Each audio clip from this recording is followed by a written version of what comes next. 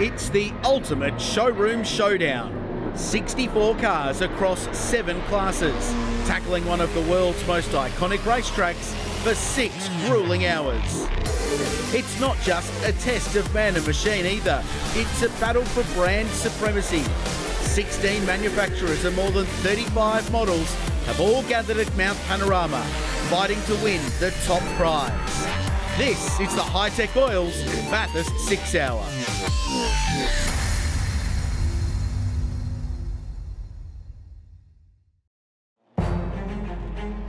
Hello and welcome to the 2017 Hi-Tec Oils Bathurst 6 Hour. It's Easter Sunday. We've got the biggest ever field for an endurance race here at Mount Panorama. 64 cars on the grid. Before we wave the green flag, let's have a look at the makeup of this race in closer detail.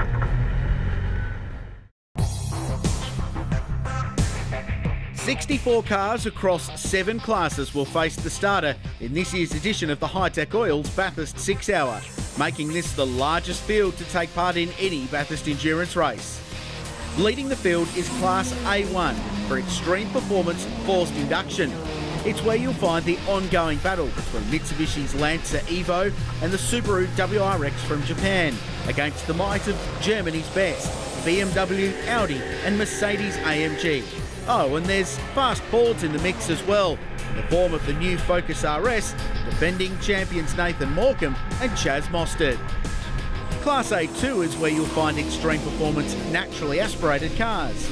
It's exclusively the domain of HSV, featuring a variety of club sports and GTS models and the sole CSV Mondo in the class.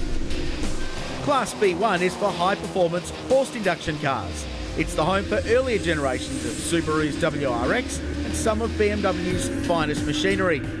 Class B2 is high performance, naturally aspirated. Three Holden VE Commodores have entered this class, bursting full of talent and bravado.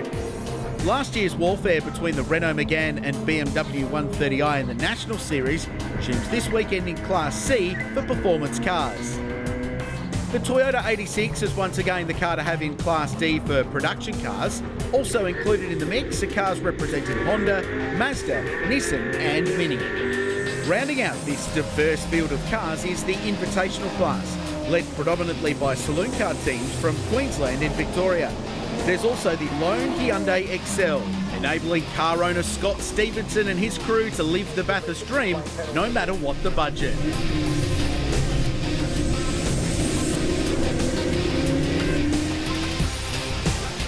Well, it's going to be a huge day of racing here on the mountain. Two people behind the making of this great event are down on the grid. They're chatting to Andrew Roll. Thank you, Corelzi. Uh, I'm with event director James O'Brien. And James, uh, where else would you want to be on a sunny Easter Sunday than on the mountain for the Bathurst Six Hour? It's always great to be here, uh, particularly on a beautiful autumn day. And uh, I think we're making a little bit of history today, Andrew.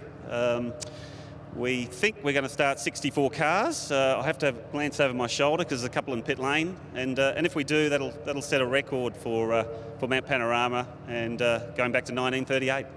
Well, congratulations on that one. That is a fabulous effort. Uh, we had a great event last year. It was the first one. How has it grown so much in just one year? Yeah, 50 entrants uh, in the first year, which you know was beyond expectations, and we've grown that to what mid 60s this year. Uh, the response from the production car community has been fantastic. So um, to all involved out there, thank you, and especially to uh, all the volunteers here today, a big thank you. And great to see so many punters here on the mountain, watching on for what, what's going to be a great race. Well, what have we got to look forward to? Well, hopefully six hours of great racing and uh, lots of cars on the lead lap at the end. That's what I'm hoping for. Um, and uh, again, I, we couldn't do this without the support of our uh, of our sponsors and uh, obviously our primary sponsor, our naming rights sponsor is Hi-Tec Oils, uh, who have uh, signed on for three years last year. They've, they've seen the potential of this race and they've jumped on early and, uh, and we're very grateful for their support and uh, it's great to have George with me to here today. And uh, with such a progression in just a short amount of time, how do you grow from here? Where do you go from here? How does it get better? Well, we won't focus so much on growing the quantity of the grid. We'll look at uh, the quality of the grid. So uh, hopefully we'll see uh, more newer and newer cars better prepared teams, and uh, we can start to get a little bit more picky and choosy with the uh, the quality of the grid. Not that there's anything wrong with what with what is here today, but obviously we do have a, a finite capacity. So you know that, that's the area we'll look at next year. Looking forward to that, definitely. One final question with you. Tip for the race. Who do you think can take out this race win? Uh, a tip for the race will be a car from A1. How about that? Sitting on the fence, great way to sit, uh, James. And of course, you mentioned our sponsors. None of this could be possible without uh, George Gambino and Hi-Tec Oils. George, great to see you back uh, sponsoring the Bathurst Six Hour. I'm glad to be back again with all our team from Hi-Tec Oils to help James do another great event. And uh, you've uh, you've signed up for the next few years. Uh, tell me, uh, how long will you be uh, the naming rights sponsor for this fantastic event? Well, we've signed for three years. We had a uh, year last year. We signed with James. Then we said yes, we'll do three years. So we're committed for three years, and we think we'll be here for a long time to come. And Hi-Tec on Oils, are synonymous with motorsport in the country. It is. It's um, starting to grow in the motorsport side of it now. We obviously sponsor a lot of things over the years, local and you know state stuff we do. But yeah, it's great. This is an iconic event for us, so we've actually put this as our main uh, source of sponsorship and promotion and do the best we can here. And of course, Hi-Tec have got a great tent here. Uh, the punters around, where do they need to go and what can they get uh, from the Hi-Tec Oils tent? Well, basically, we're, we're national, so you just ring the head office and we have one in every state and territory in Australia. We're probably the only Australian brand of oil that's nationally now. And uh, I put James on the spot and he sat on the fence. Who do you think is going to take out this great race today? Well, I know a few of them because we sponsor a few of them here as it is. Uh, the car actually behind me, he's a very good client of mine. So he won it last year, so I'm not going to say anything, but any of them are great. We have a great bunch of guys here and we sponsor a few guys now, so they're all good. We've got the Hi-Tec car here somewhere down there, so anybody wins. It's all, as long as it's safe and a good race, we'll love it. Well, guys, enjoy the race. It's going to be a fantastic event. The weather gods are certainly shining on us. Good luck to all the drivers. We're all set for six hours of scintillating action. Richard Craill, back to you. Thanks, Rosie. Great to hear from James O'Brien, the event director, and George Gambino from Hi-Tec Oils, who's put a lot into, both of them, into building this event and getting it to where it is. And um, what a foundation to build on after two years, 64 cars to start this race. And great crowd here on Pitt Straight and all the way around Mount Panorama as well. Thanks to everybody here at the circuit for coming out. Social media already uh, going off. Don't forget, join the conversation. Hashtag B6HR to join us on Facebook and Twitter and Instagram. 64 cars to take the green flag for the Hi-Tec Oils Bathurst 6 Hour for 2017. It's Grant Sherrin and Luke Searle on the front row, then Rod Salmon, two-time winner of the Bathurst 12 Hour, alongside Ryan Simpson, who's a Porsche champion, and then Dylan Thomas and Beric Lynton next. David Wall is just behind in seventh, and Devarshan Padiachi, Garth Walden, and Jason Gomersall in the big V8 Falcon from 10th place. It's a perfect alignment. It's the biggest race in Australia, the biggest field Mount Panorama has ever seen in an endurance race and it's about to start six hours of motor racing on Easter Sunday, the best racetrack in the world. We're about ready.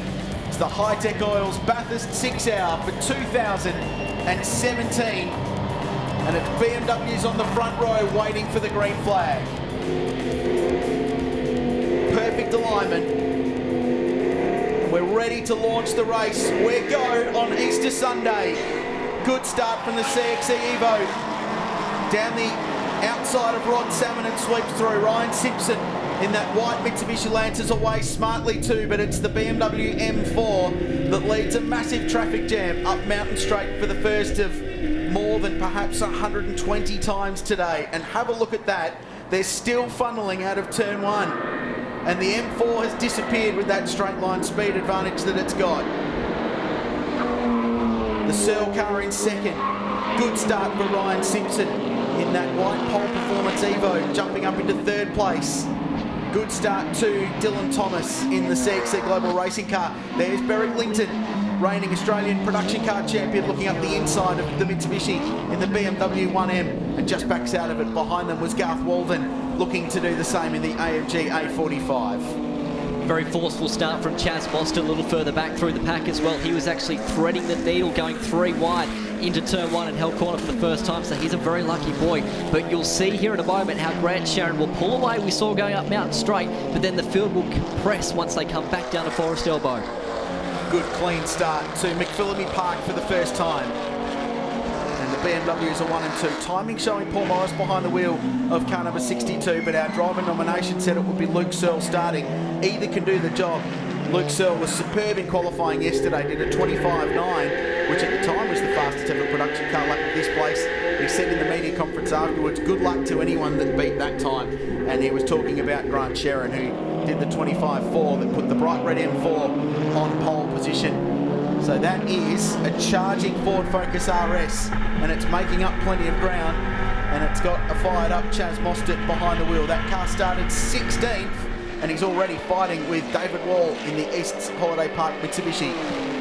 Got Garth Walden in front of him as well, so it's almost like a traffic jam as they come down into the kink for the first time. Mostert will make that spot up there on Lynton as they come through the kink, but uh, it's going to be one of those races. Actually, here he comes now down the inside, so he's got Lynton in front of him. Now gets down the inside of the Mitsubishi and makes up that spot. It's going to be fascinating to see how many spots he's actually made up on this initial start because I tell you what, he's been forceful and that's what he needs to do. He's not far off the top six now. The teammates go side by side. Down the inside is Garth Walden on the Porsche race, Devarshan Padiachi. So the teammates swap spots. So at the end of lap one, it's Grant Sherrin, Luke Searle, the margin 2.8 seconds. Then it's Ryan Simpson up to third, gain for them. Dylan Thomas to fourth, Garth Walden fifth, Padiachi sixth. Then it's Beric Lynton, then it's Chaz Mostert. He's gone 16th to 8th in one lap of Mount Panorama. David Wallace ninth, Rod Salmon a little bit further back having started that car third. Conservative for Rod early in the motor race. It's not a bad strategy, to be brutally honest. Karl Reindler, meanwhile, from 58th is 30th at the end of lap one.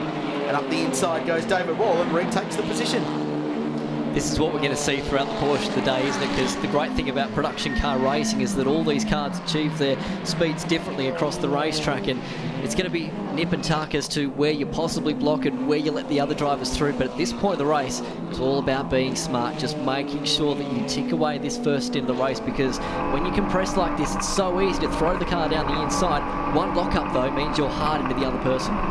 Exciting, isn't it?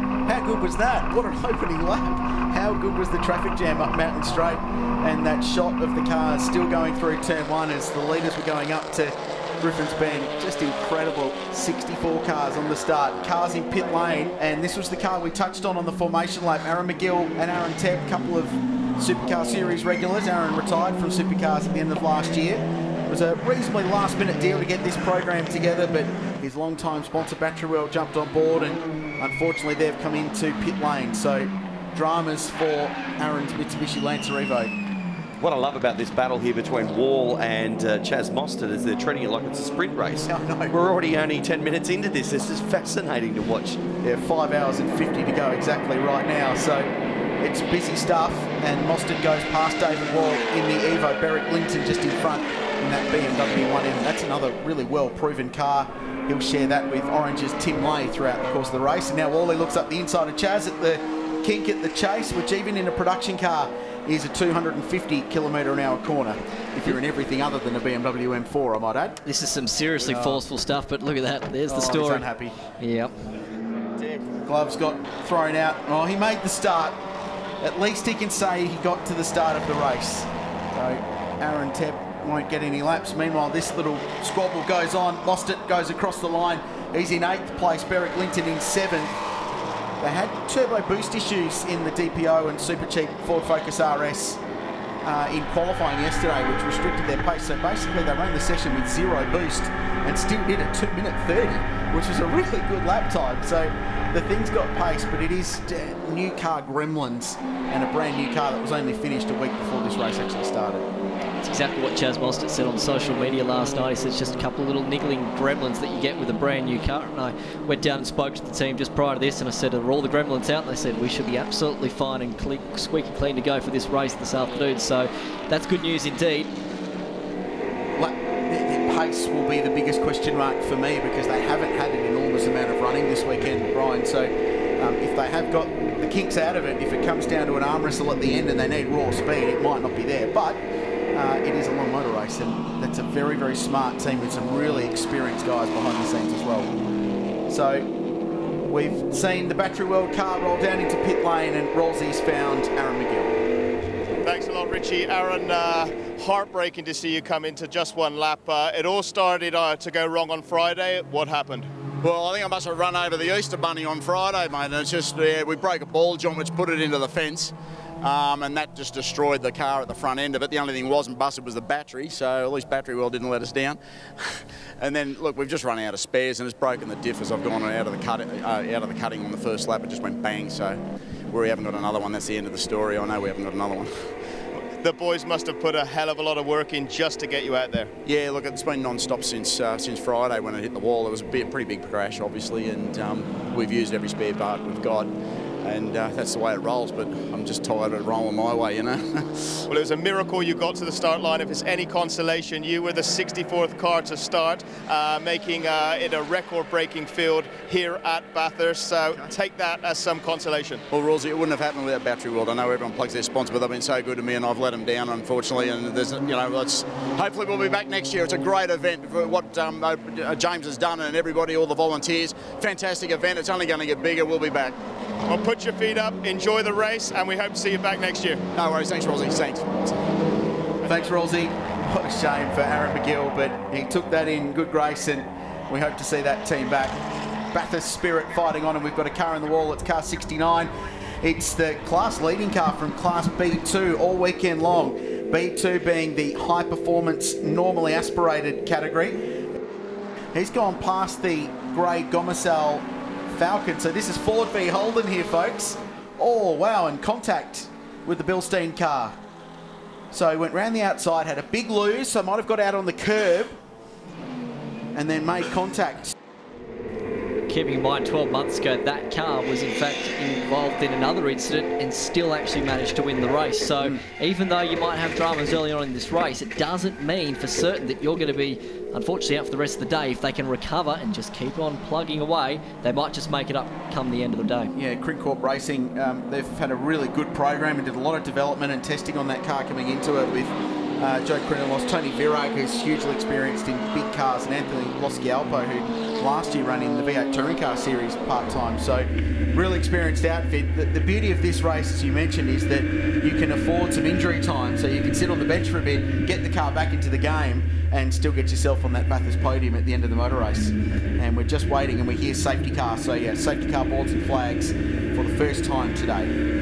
There were six safety car interruptions in the race in 2016. So the safety car comes out before the compulsory pit stop window opens. So that's an important factor as we're only 16, 15 minutes into this race and we've got our first safety car. Very much like what we saw last year. I don't think anyone would be coming into the pits other than just a quick top up, but it will not count as one of their either three or four compulsory pit stops. Should mention a new lap record set by Grant Sherrin out in front, clean air, with a 226.43 on his second lap. That is a new lap record. So we are under the Hi-Tec oil safety car. This is why.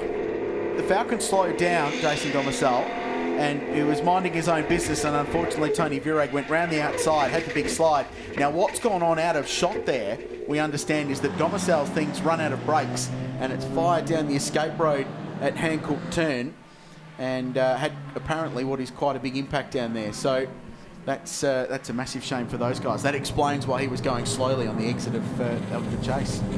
We're going to take a very short break. We're green at the end of this lap. We'll come back and bring you all the action in just a sec.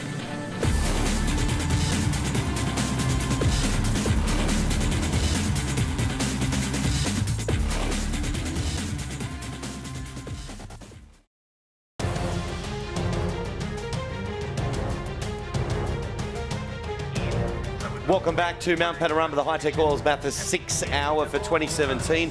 The safety car is in, so we've got green flag running conditions at the end of uh, this lap, of course.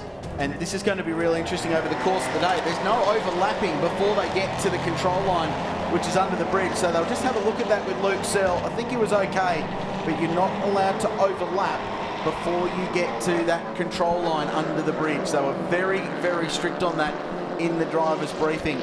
But as the field concertina's up, because some are braking for Hancock Murray's corner, it gets a little bit busy as Karl Reindler, the 46 car with the light blue roof, continues to blaze his way towards the top 10, having started this race from a different postcode. So we're back under racing. Grant Sherrin leads the way in the BMW M4 that's been the dominant car all weekend long. This is busy. Up to turn two, Mostert round the outside. Devarshan Padiachi's there. Garth Walden was making a move too he was trying to work his way past on Dylan Thomas, but couldn't quite get the move done as Mercedes and Mitsubishi squabble on the run up into the cutting. We were lucky on that restart in the fact that there was no lap traffic in front of our leaders, so obviously that overlapping issue is going to be a major factor later on once we get those cars mixed in with those lap runners. But uh, so far, not too bad on this restart. But Mostert, I tell you what, he is seriously being very aggressive in this first stage, as he has to be. Of course, starting down there in position 17, making his way solidly inside oh, the top 10. Wow, and this is a big move now at the top about Panorama, going into Skyline. Wow, McPhillamy Park is going to see a lot of that action, I reckon, in his first stint with Chaz Mostert. He's never been accused of not being completely committed behind the wheel of a steering wheel, uh, behind the wheel of a racing car, Chaz Mostert, and he goes past Garth Walden, who gave him racing room. What a bit of racing that was. Wow. So the two AMGs from Garth Walden Racing resume being line astern. Devashan Padiachi just in behind the team boss, but Mostert now comes his way towards the top five great stuff and he's not done yet because he's working over Dylan Thomas as they come out of the elbow so that is fifth place he's about to be fourth let's see what an Evo's like compared to the RS Focus in the straight line down towards the chase he seems to just to tuck in there but let's see how he goes under brakes as they go through the kink in the chase they're all oh, a little bit of a waggle there from Chaz Mostert but gets the job done P4 Former Bathurst 1000 winner. He raced the 12 hour this year, led the early stages of that. Driving a BMW for Ryan McLeod was brilliant. Unfortunately, that car was ruled out of the race, but he showed what he was capable of in a GT car, doing the same in a production car. So Chaz Mostert runs P4 in the Hi-Tec Oils Bathurst 6 hour. He's passed Devashan Padiachi, Garth Walden and Dylan Thomas in a lap, and he now will hone in on the back of Ryan Simpson, who sits third. Sherrin in front by 1.7 seconds. What a drive from Mostert, big move up the top. But Garth Walden using his experience, and he's been around here plenty of times, just bailing out and no point to fight for it. And we're told safety car, and it is safety car for the second time. Unsighted by us so far. We are under safety car for the second time today. So just one green flag lap back under racing. Let's go down to pit lane and hear from the race leaders. I'm with Ian Sherrin, and Ian, I'm a massive BMW fan, and that looks like one hell of a beamer right there. Yeah, absolutely. It's a bit of a weapon. It's uh, got plenty of power in a straight line, as you can see. So, you know, off the start, we're four or five cars in front. It's good. And uh, first time the car's had a run? Yeah, this is its first race. So, you know, before this weekend, we only had, you know, probably a day of testing, and that was it. So, first race for it. So, six-hour race, all about tactics. What are yours? Uh, look, it's it's just hard to tell. There's so many cars, and there could be so many pit stops, and you know, like it, yeah, we've seen a couple of safety cars already. So we've just got to take it as it comes and make the calls as it comes. So I think if you try and lock into a strategy too early, uh, you could get caught out. So you really got to roll with the punches. This is why we're under safety car. It's car five, Kerry McMahon behind the wheel, sharing with Doug Westwood this weekend, little BMW M3. Um, we understand they actually clipped the wall just coming out of Forest Elbow, just near the Bathurst Goldfields up there at the top of the mountain. So that is why we're under safety car, and that car had damage and was in a dangerous position, which is why we're under our second safety car interruption of the day to recover that car. So it'll be Grant Sherrin who leads the field back around to green. They've led the early stages of this race. They haven't had an opportunity to build an enormous margin just yet. So uh, it's going to be really interesting to see what they can do on a green flag run and how far ahead they can go. And check out the straight line performance of that M4 on the restart, pulling away from Luke Searle. We're back under green. Restart number two can see on this restart that there's already some side-by-side action going down to turn number one. Then James Abella in the Subaru with Peter Patton in behind him looking down the inside, then going into Hell Corner. And the Subaru has been lacking a lot of top-end speed this weekend, so they might actually get eaten up by the time they get to Griffin's Bend. Yeah, they're actually talking about pulling the rear wing off that car to try and get it some... Uh, make it more slippery, take the drag out, but they weren't allowed to because if it's sold with the rear wing, you've got to race it with the rear wing. So uh, unfortunately, they will have to battle on. But that car was in the top five fastest cars across the top in Sector 2 from the cutting down to Forest Elbow. So it's a quick race car, and that's a really handy little pairing too with Carrera Cup racer James Abella and Cameron Hill, the Australian Formula 4 champion, a couple of years ago. They're just hovering outside the top 10 at the moment. Track temperature, by the way, uh, over 38 degrees, so that blazing sun has heated the track up. Ambient about 22 was the top for today. Light breeze blowing across the racetrack towards the east, and it's a nice day for motor racing. Lee Burgess is currently leading uh, Class B1 at the moment in that car that won this race last year. The current leader of Class C, the Auburn brothers. Kyle behind the wheel there, Blake waiting in the pits of that uh, beautifully presented gun. Let's have a look at a moment at the top. It's uh, the class leader in the Muscle Toyota. Wow, Oh. into the fence. Big, heavy hit too. Coming onto McPhillamy Park for car 88.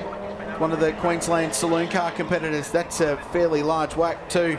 That's the Luke Anderson, Chris Donnelly car. Hefty hit. They build those things like tanks, those saloon cars. It's Luke Anderson behind the wheel, but that's a big moment. So the saloon cars are quite loose across the top of Mount Panorama. Well, let's have a look at a HSV GTS Coupe coming off the road at the Chase just before the Hitachi Bridge. So this is a great scrap. Third, fourth, fifth and sixth all locked together. Look at Reindler here moving this car over on the racetrack, trying to find a way past Garth Walden. You know that Walden's not going to give him an inch, but uh, just as we saw there a moment ago, he was a little wide coming out of Griffin's Bend that time by, so it might have been an opportunity. There's an overlap here as they come through the left-hander into the cutting, but holding the inside line at the moment is Walden. And look, just in behind them, David Wall is saying, you boys keep fighting, because I'll come into this and I'll join it as well. The Reimer thing's clearly got speed to burn over Garth Walden, but the Merc's a little bit quicker in a straight line, so it makes it difficult to overtake. This is a big story because this is the fastest car in the field, still sitting in pit lane, and they're now a long way down the order. They're back out, but that's a long stop, and they're several laps off the pace. And even though they've got five hours to go in the motor race, to come back from here will be an enormous effort. They were stationary for 8 minutes and 49 seconds, so there you go. Did Karl Reindler get by Garth Walden? Yes, he did. So we just cut away as they went side by side over the skyline at 170 odd kilometres an hour as the world disappears beneath your steering wheel. Um, so he's gone through. So Reindler elevates himself to third place. Walden back to fourth, and they've just dropped David Wall a little bit. Let's find out what went on with the Sherrins. Andrew Rolls on the spot. Thanks, Krause. Ian, an unscheduled pit stop there. What happened?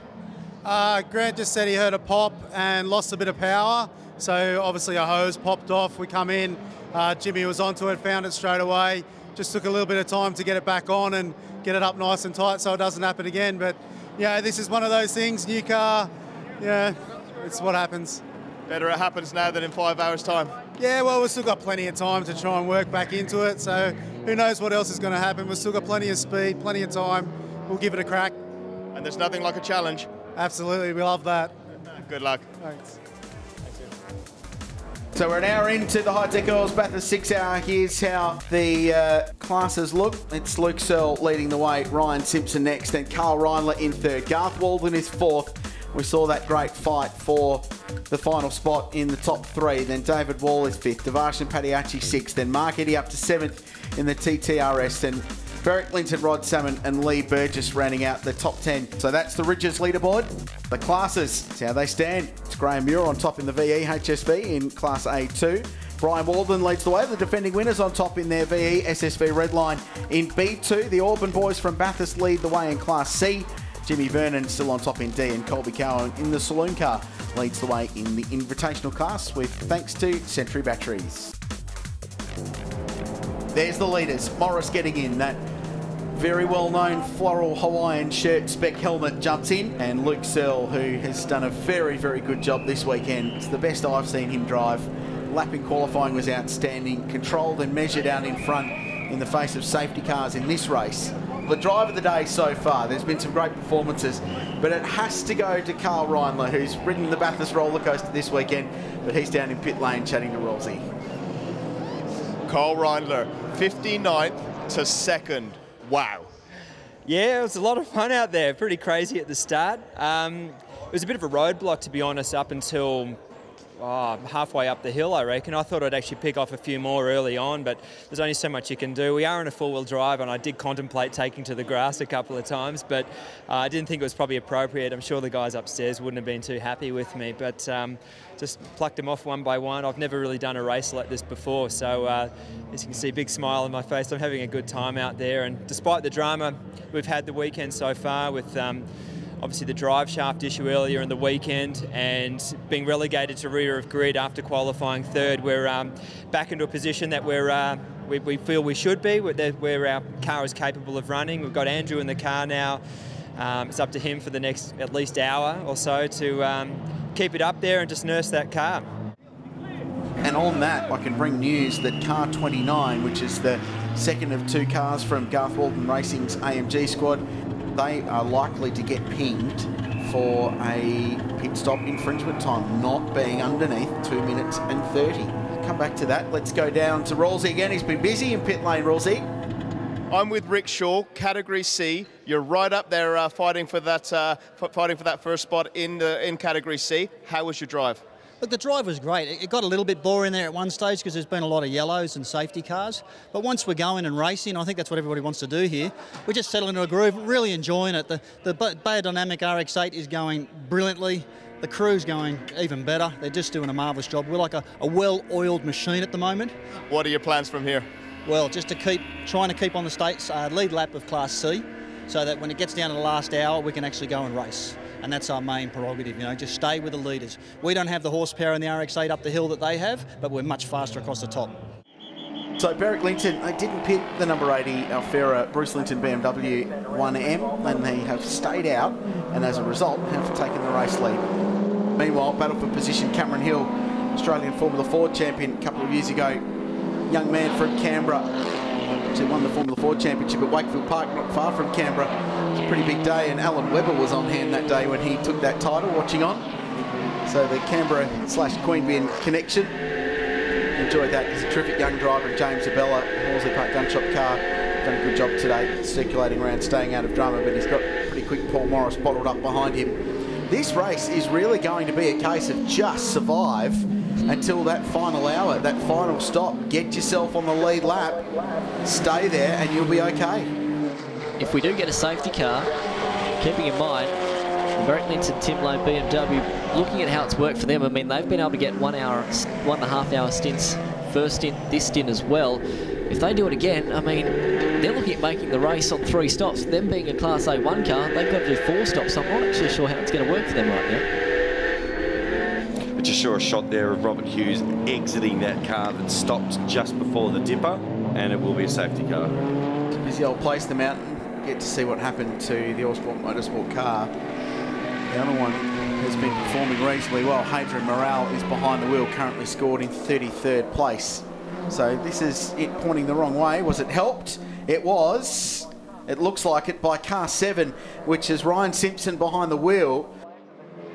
So does Lynton and Lay pit? The answer is yes, they do. And as Brian was speculating before, I think they had to.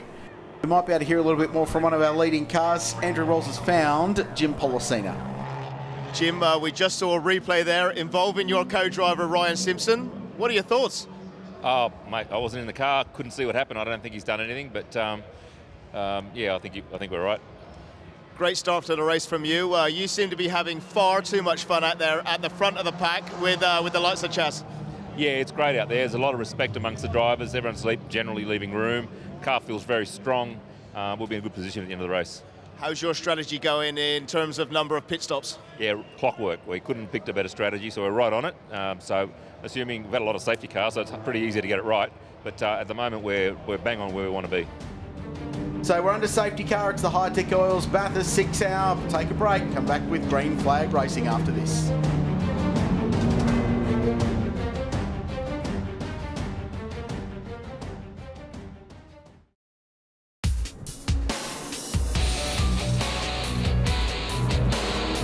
Welcome back to Mount Panorama. Hi-Tec Oils Bathurst six hour, and we're in another safety car period. Lights will be out on the Hi-Tec Oil safety car this lap. It'll be Paul Morris leading the field back to green. Another restart where everyone in this field will hold their breath. and try and get through one lap, and then two, and try and get a race run going. Easier said than done. Well, so far today, yeah. Six in the whole race last year. I think that 500 mile mark we were talking about at the start, 130 laps, I think it's safe. I think we'll be in race record territory today. Away we go. Another restart.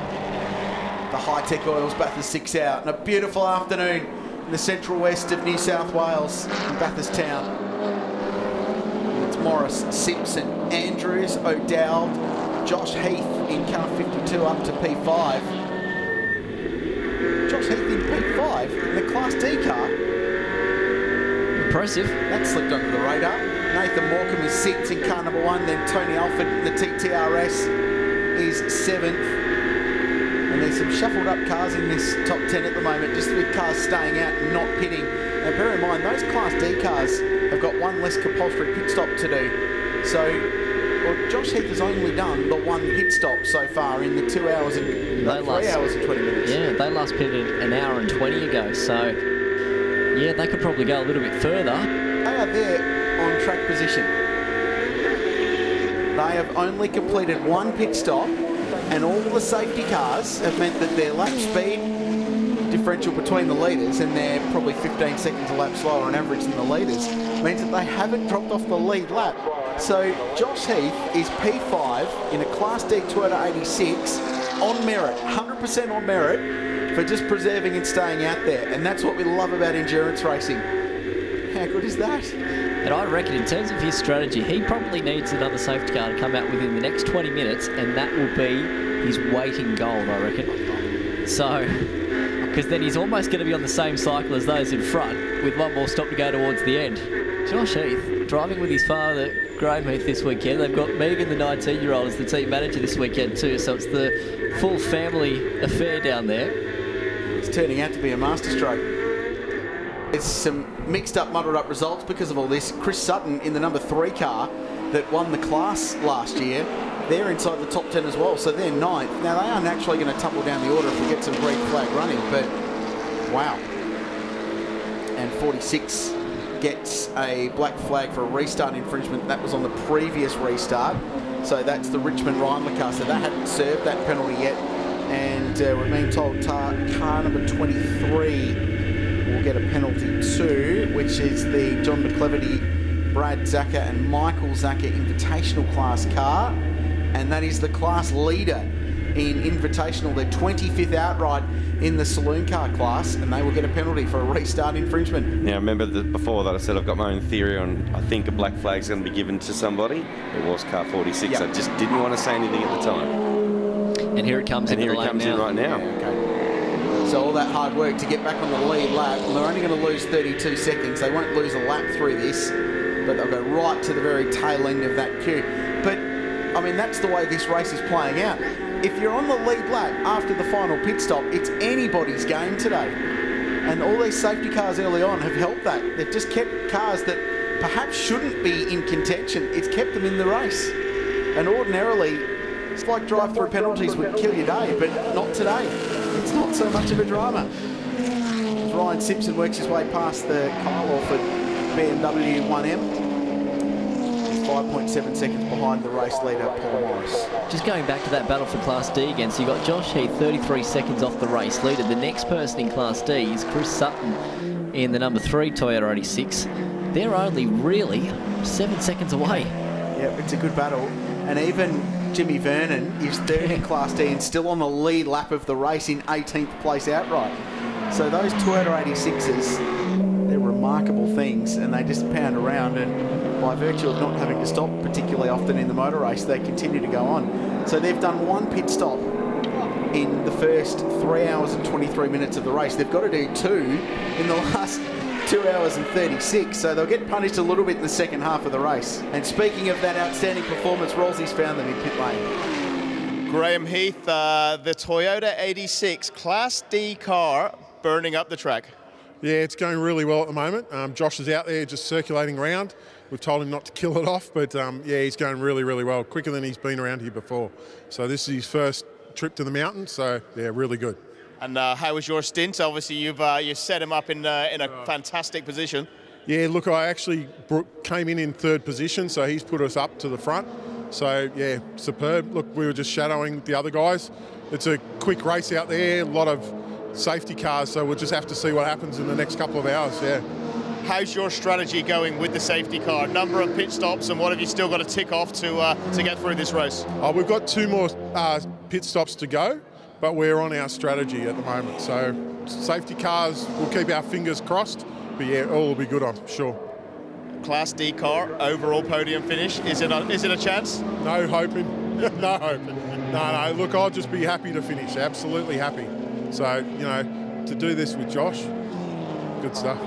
And uh, what words of advice did you give him when you did your changeover? None. and I'm not talking to him, I'm just letting him go. Absolutely let him do his thing. He might give me some when he gets out. well, he's looking great. The team's looking great. Good luck. Thank you. Cheers. There's some interesting emails going back and forth with race control as well. There's actually teams querying race control about the running order because they're going, how come our class rival is so far up the leaderboard and we're not? We're in identical cars. But that's just the way the race is played out. There's still 2.33 and 38 to go. So I wonder, uh, I wonder what's more to come. But at the moment, there's going to be at least a dozen cars in the lead lap going into the final order if it runs the way it is. So, and they've all got plenty of firepower. And, and just to show though that point, how quickly those Class D cars. So Josh Heath was fifth two laps ago. He's now 12th. Um, and that's not a black mark against his name. That's just the performance differential between the Class A cars and uh, those further down the field in the classes.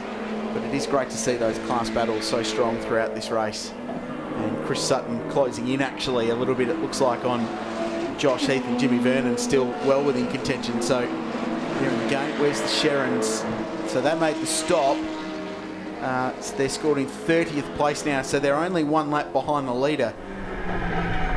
So they made that stop under safety car. So under the next safety car, which sort of feels inevitable, but um, I wonder if they stay out, get that lap back, and then worry about strategy after that. Surely you just get yourself on the lead lap.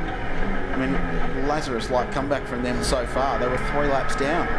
They spent eight minutes in pit lane, Brian. it's just stupendous, isn't it? How they can be back in the fight just about with, well, the second half of the race to go. I mean, that would have to be the biggest mountain story or mountain win, I think, in the history of this place. Speaking of the Sherrin uh, entry, we're following it now under the Hitachi Bridge. Coming down, looking left, looking right on the number 11. Probably just opt to fall in behind, but probably will get him on the straight here. Well, based on the straight line speed of that thing, yes, it'll get everything on the straight. So that's another one down. So it's now 10 cars away from being on the lead lap, basically. Um, just an update from our friends at Car 77. That's the BMW 1M. Anthony Saul, Adam Burgess and Craig Burgess. They've had a pretty shocking day. They had quite a lot of damage on that car, but they've spent some time in pit lane repairing the damage. Adam Burgess now behind the wheel of car 77 and back out and uh, just got on the radio and said to his team, thanks guys. Nice Guess job. what's coming back out? It's the Nissan Pulsar. Oh, brilliant. Number 33 is just traversing the lane now. That's an amazing performance. That car blew an engine early in the motor race. It's 19 laps down.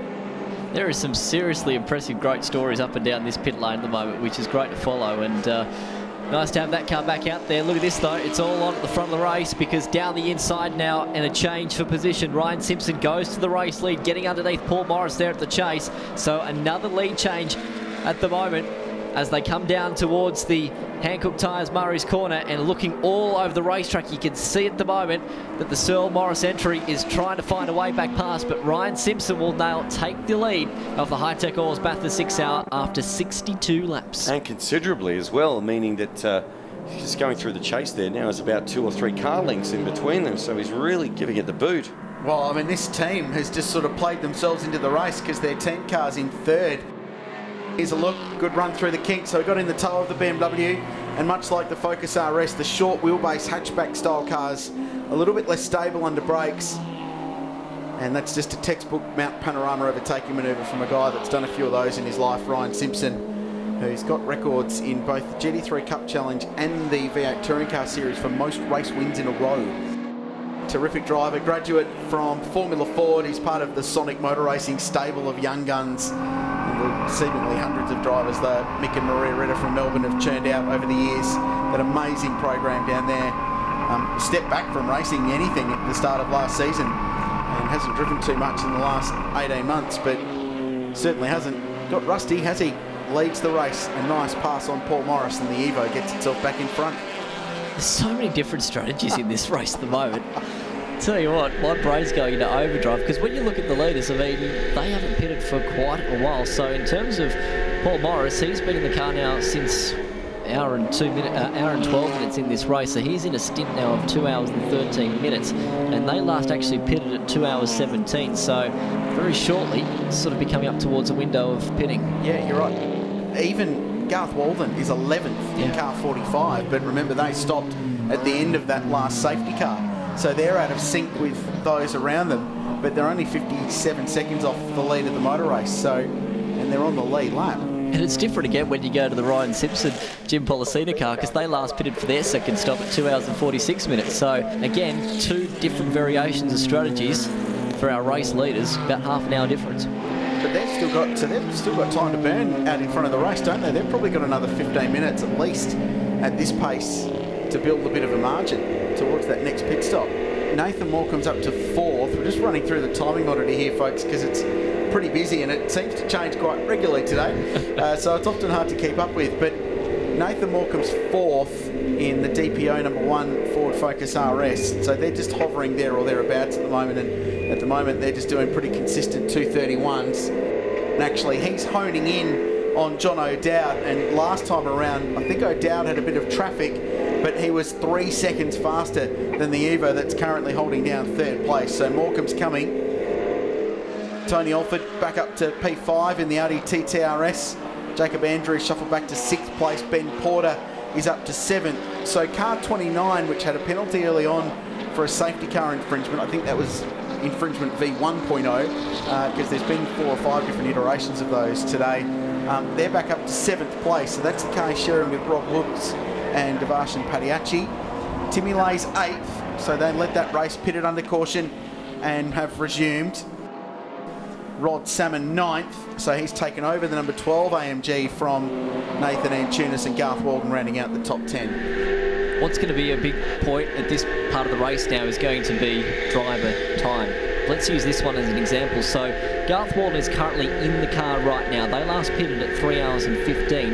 Now, Craig Baird did a stint of 2 hours and 3 minutes. So therefore, Craig Baird needs to step back in that car at least no earlier than with two hours and 27 minutes of this race to go. Otherwise, he will exceed his three hours, three and a half hours maximum driving time. And I hate to bring up old wounds, but that will be a familiar story for Craig Baird at Mount Panorama because if you turn your minds back to when we were fortunate enough, some people were fortunate to have two Bathurst 1000s in a year. Yes. The two litre race went the way of BMW in 1997, um, and it was Craig Baird who crossed the line first with Paul Morris. Unfortunately, they were disqualified for exceeding Craig Baird's driving time. Fairly perilous moment. That's the 23 car that was actually leading its class. Let's check and see if they are still. Ash Jarvis back in front in Invitational now. So they, they had a penalty, didn't they, a couple of laps ago that they had to serve for that restart infringement. Off at the chase. Car 65 proof that you give a guy a rap and it ends up parked off the side of the road because CXC Global State just gets worse with Jacob Andrews and Mark Griffith looking like their day's done. Doesn't look like it's buried. In fact, it looks like it's still sitting on grass. The problem with that part of the world is too that it's the fastest corner in Australian motorsport leading into a very heavy braking zone. I wonder if he's had a tyre go down or cut a tyre because he had a huge lose through the kink and I think the reason he stopped is because he's just gathering himself because he almost ended up in the wall. And one of our leading contenders, Tim Lay, had to take massive evasive action to get out of the way as his teammate Beric Lynton gets himself ready to jump back in that car. So I think they've seen that car parked and actually Tim Lay showing as being in pit lane. So he was on an in lap. Well, I reckon they might have called it and said, hey, look, we're towards the end of our fuel window. Let's just roll the dice. If a safety car comes out on this, we've played it beautifully. So here's car 80, Tim Lay pit. So green flag pit stop, which has been a rarity today, and they'll almost certainly lose a lap through this. or, or will they? so in the space Oh, of a man. heartbeat, that's just been the best, one of the best calls of the race. We'll learn more about that because uh, Rollsy's found Tim Lay. He's just jumped out of the BMW. ABS problems. What, what what's happening out there? It was all going pretty well, actually. I mean, it's just had an like an intermittent problem where the ABS light comes on and then the ABS stops working. So unfortunately, it happened down into the chase then, and um, it just locked up all the all the tyres. Couldn't couldn't get, get it unlocked, unfortunately. So um, anyway, that's the way it goes. Hairy moment. Oh, not not overly, not overly. I was just trying to get the brake unlocked, you know, so I didn't square the tyres, but I just couldn't get it unlocked. So I, but the tyres were knackered, so I just had to come straight in. One thing that is working uh, pretty well is your uh, pit stop strategy. Uh, tell us about that. Oh, well, you know, the boys are just doing what they did last year to help Beric win the production car championship. They're just doing a solid job.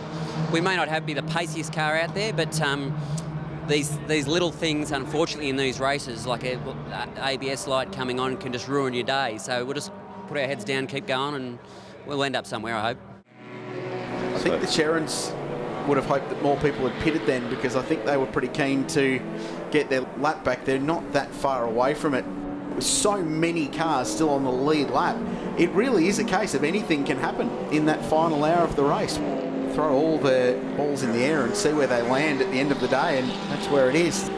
So we're under safety car. We'll take a break, come back with some explanations and what's going on on the mountain for the Hi-Tec Oils Bathurst six hour.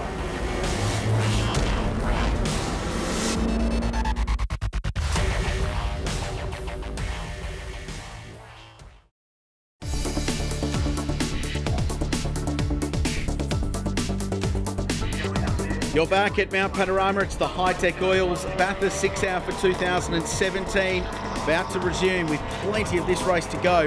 Recovery done for the number 65 CXC Lancer. While we're under the safety car, we should mention that there's been pit stops. Morcom and Morris both pitted under the caution, and that's elevated Garth Walden in the AMG Mercedes to the race lead. And look at this, down the inside, three wide, Chaz Mostert trying to get past these lap cars as they sort themselves out through turn one. And gee, that looked hairy. Jim Pollicina, former leader, pitted, now 12th. Sherrin on the charge now. 15th. Watch them march up the order. Watch them fly up the order. Andrew Richmond is next target, inside of the Camry. A bunch of cars pitting beneath us. So Beric Lynton needs to pass Garth Walden here because he needs to clear. Wow. Oh, hold your breath. Two and three wide through the kink at turn three. The run up into the cutting. Marcus Ambrose and Greg Murphy know that bit of road well. Just to add to the list of memories. Um, so for this race to work for Beric Lynton, he's got to pass Garth. He's got to get by the AMG. And yes, they've got a pit stop up their sleeve. And as we explained before, their race will come to them in the final hour because they've got that one stop to make and they can dictate when they put the co-driver in for the run to the flag. But if you're not on the lead lap, you're not going to win this motor race because there's so many cars on the lead lap. It's so difficult to get back on it. At the moment, there is 16 cars currently on the lead lap, but that will change once they all cross the control line there, so it all cleanses itself. Walden by 1.9 seconds. That white bonnet going through your shot now is the BMW that's second with Lee Burgess. Then it's James Bella in the Subaru. Carrera Cup game. Races for McElroy Racing. Won the Jim Richards Endurance Trophy in GT3 Cup Challenge a couple of years ago. Handy little talent from the west of Sydney. He and Cameron Hill have flown very much under the radar today. Haven't seen much of them, but they've continued to battle on. Benny Porter is fourth in the number 29 GWR car.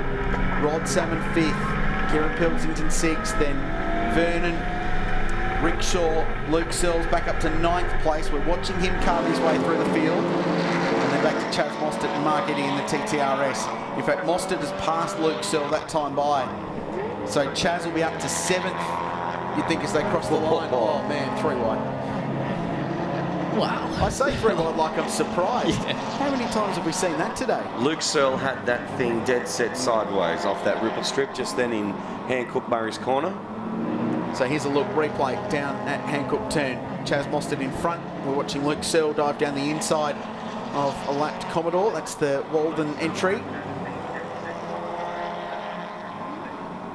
Yeah, just up on the exit curb there. Won't be too much of a drama, unless they've caused some tyre damage with the back of that curb. We've seen here before that cars that use curbs a little bit too liberally can get caught on the back of them. And around pointing the wrong way is a BMW at the exit of turn two and after the dipper and probably Forest Elbow and possibly McPhillamy Park. That's not a great place to spin. And Grant Sherrin you know it's Grant because Grant wears glasses so G for Grant uh, he is watching on in pit lane and they might get another safety car that will help their cause here. I wonder if that BMW can get itself turned around. Ah, so that teed off earlier. So there was contact there. BMW on BMW. That's the Stefan Mobile that got into the back of the 1M and caused it to be pointing in the opposite direction of travel. Do you know, when you're travelling up there at, at, speed, he's very lucky not to have taken the wall, or it looks like he may have just. Keith Bensley was behind the wheel of that car, in fact, at the time. Here oh. goes Mostert on his rampage. So this lap, he's past James Abella. He's past Lee Burgess. He's about to pass Ben Porter, who's also past Lee Burgess. And he'll do it at turn one by the looks of it. So Mostert storming his way through the field. He's third. You get the feeling second is only a matter of time. And once again, the RS Focus races its way to the front of the field. looking to the back of car number 29. Headed up by Rob Woods, who made his debut in the Porsche GT3 Cup last weekend at a very soggy Sandown. This is his first visit to Mount Panorama as well, racing with Devarshan Padiachi and also Ben Porter, who's behind the wheel at the moment. Just showing at the moment that Ian Sherrin is in fact, no, he's just gained the lap back. He's 10. They're in the top 10. My goodness me. They're in the top 10. They're 50 seconds from the leader. And you know they've got the speed. Extraordinary. Especially when it's quick going up and down the mountain. So it should theoretically be somewhat easy to pass these cars. And a whole bunch of cars actually have just punched out their fastest lap of the race. Garth Walden last time round did a 28.27 on lap 75. Chaz Mostert did a 27.2 on lap 75. So he's flying. And Kieran Pilkington actually did their car's best lap last time round. It was a 34.9. So they don't have the outright pace. This is Harry. What's Mostert going to do? Just sits in behind the AMG at the moment in the battle for second place. So the pace is now hot. Now they've got some green flag running. And uh, quick lap time. So Garth Wall just trying to build this margin. And 14.7 seconds, tell you what, probably the biggest leading margin in the race so far. There goes Mostert through. He'll grab second place. Hot hatch from Ford v hot hatch from Mercedes AMG. Let's see who's quickest in a straight line. Ben Porter won't give this up too easy, and that AMG has got some grunts. We heard Nathan Morcom talking before that they just don't have the top end they like, and there's a definitive example. So if that's the final lap of the motor race, if that's the fight for the victory, you'd probably give it to AMG. Or you'd give it to Chaz Mostert because he bombs it down the inside and grabs the spot you'd probably fight a bit harder if it was the final lap if you're in the move, but... What a major dive wow. bomb move. Uh, that's textbook for Chaz Mostert. Look out though, Porter's going to reel him back in again, but that car, that Focus, very strong under brakes, will hold that position for now. Will slot himself into second. I tell you what, he might even have to play the defensive card here in just a moment by the time they get back up to Griffin's Bend, because again, that Mercedes is probably going to have the legs. In fact, he might even get the job done a little sooner, but the Focus good under brakes. But now the challenge is going to be as to whether or not Mostert will drive this car and make this focus as wide as it can possibly be as they head up Mountain Straight. How good is this stuff? If you're Ford, you're mad not to be involved in this because how good is this an ad for the Ford Focus RS? Because it's knocking off a Mercedes AMG that's a little bit more expensive than it and it's way up the order from a BMW M4 that's a lot more expensive than it and it's not far off the lead of the motor race. The, the car companies will come to this style of racing, I'm sure of it. With this race, as the centrepiece for the revamped Australian production car series.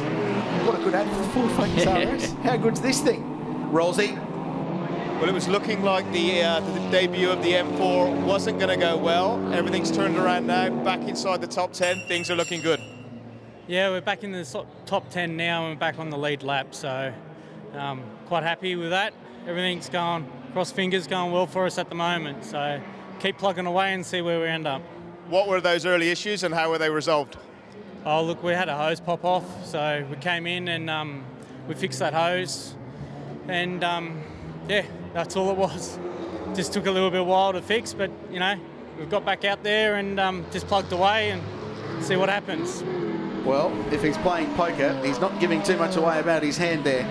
Grant Sherrin will bring that car home. When is the question of time? I think Brian Vanderwacker might be able to tell more of that. I've just had some interesting text messages come through, and the number of people watching this race is quite amazing. But g'day to Renato Liberto, who's a guru race car driver associated with Italian brands, and I'm not sure what he could bring out uh, to race in this race next year, but he was actually asking the question, any chance of rain? And I know why he'd asked that, because with the way the sun is, looking at some of these clouds, it does look a little bit dark, but I can tell you there's nothing on the radar. There is 0% chance of rain occurring in this motor race. Just need someone to go out there and put the hose out. That'd change things up. 15.7 seconds from first back to second. The Auburn brothers here on screen. In fact, they've had a bit of a disappointing day as well, unfortunately for them. Their first stop was about 18 minutes long, so the actual steering wheel actually came off, believe it or not. Speaking of oh dear. weird parts and weird things that go wrong in the race, so they actually had a steering wheel come off their race car, and then they also had a fuel leak at the same time, so unfortunately, uh, not the day that they've been hoping for. And that's something that you, you you don't want to have happen coming down Conrod Straight, unless, of course, you've got a pair of vice grips in the car. You can just grab around the thing and steer that- with. that's happened here in the past I know somewhere, it I'm has. sure. Yes. Um, what we're watching at the moment is a very interesting battle between AMG Mercedes and BMW, who Luke Searle dives to the inside of Ben Porter. Now, Ben's due a stop because uh, their stint length is agonisingly close to three hours, we're being told. So they might need to get themselves in the lane fairly soon. We'll get Brian to crunch the numbers on that one. I've thrown my stats away. It's just impossible to keep up. Brian's got it covered. Um, so Luke Searle, this is for track position. It's for third and fourth place. Mostert up the road. He's got the gap to the leader down to 13.1 seconds. But Garth Walden's got busy and he's caught Beric Lynton and trying to put that BMW down a lap. And you might think, why is he trying to do that? Well, if I was leading this race, the least, the less cars on the lead lap, the better for me because there's still so many of them in contention for this motor race. The more that aren't, the better for your hopes towards the end of the motor race. And here these two go again, side by side. No wonder they're watching closely. Their car's getting attacked. And Luke Searle, well, Paul Morris said in pit lane that he thought he was the right guy to bring the car home. So far, so good. Last time round at Kitts control line, point two, uh, uh, two tenths of a second they were apart. You've got to be careful that you're at this point of the racetrack. Look at how much room they're using. Porter was all the way up to the grate then and then some as they'll come up to the top at McPhillamy Park again. Well, Ben knows how to get the most out of these cars. He's part of a group of a lot of Australian racing car drivers who do driver training for Mercedes and AMG in Australia under the leadership of Peter Hackett. So uh, he knows how to get the most out of an AMG A45. He's certainly doing that. That car is moving around considerably under pressure from the BMW, but Look at this. Lights ablaze, both of them. still an hour and 31 to go, mind you. Just throw that out there. I think the AMG is going to stretch its legs just a little bit here down Conrod Straight. Ian Sherrin, by the way, is now ninth. and last time round was the second fastest car on the no, yes, second fastest car on the racetrack behind Chaz Mostert. So he's 41 seconds from the lead. So five laps ago, he was 50 seconds from the lead. He can do it. He's still an hour and a half to go. It's not like he's just unlapped himself within the final 15 minutes and then it's a, a massive drama to try and get yourself or get a lucky safety car, which is what they needed last year, ironically, uh, to win because they were on the back of the lead lap. Here we go, great run out of the final corner, a little bit of hip and shoulder this time, and Luke Searle finally looks like he's going to clear Ben Porter in the AMG. The Merc's got better top end, but Searle's got the right driving line into Hell Corner, and finally wrestles P308 after a war that's lasted three laps. That's been going on for a long, long time, this one, as we got a shot of the Brian Walden machine. In fact, interestingly enough, what sources tell me it's actually going to be Brian Walden's last endurance event. Oh, really? This weekend, yes. Hanging up the helmet. We're going to take a quick break here at Mount Panorama for the Hi-Tec Oils. Bathurst 6 Hour will return shortly.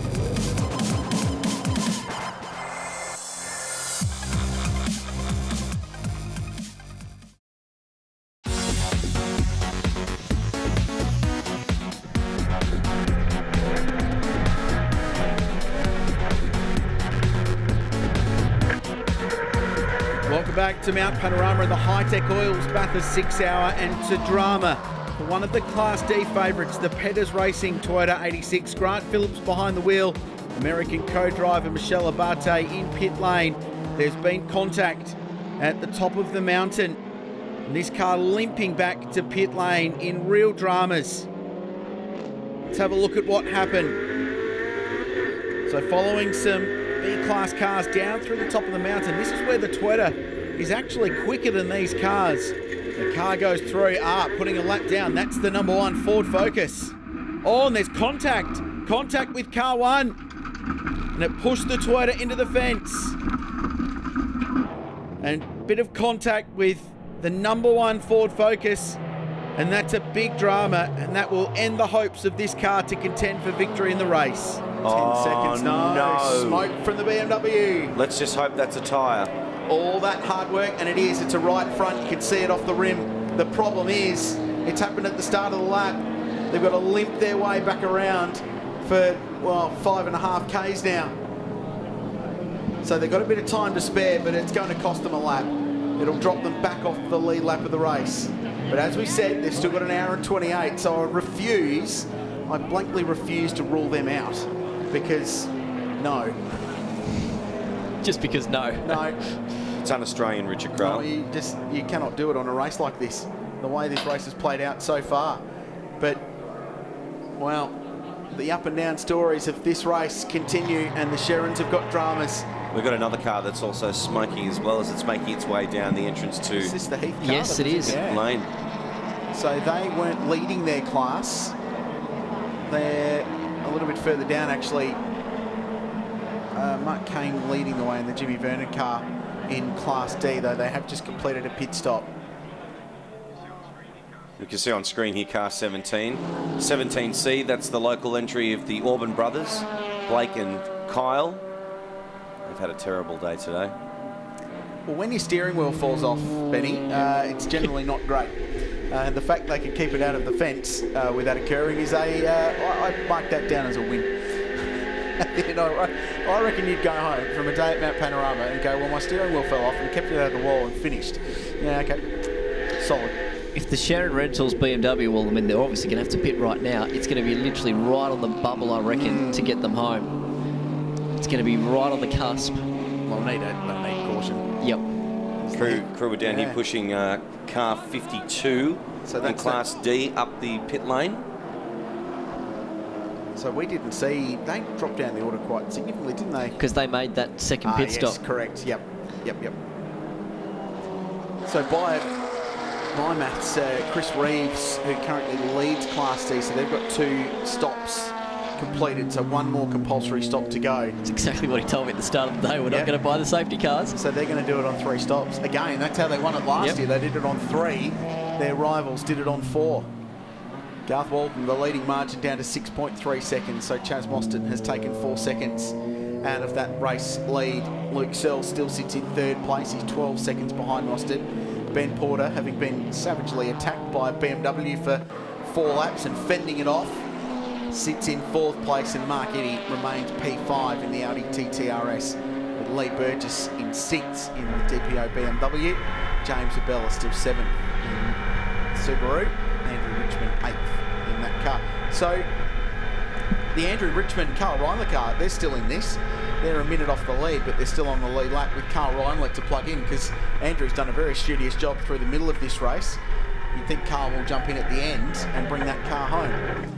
Uh, So they're certainly not out of contention yet. Is in, absolutely bang on your numbers, Brian, comes car 45.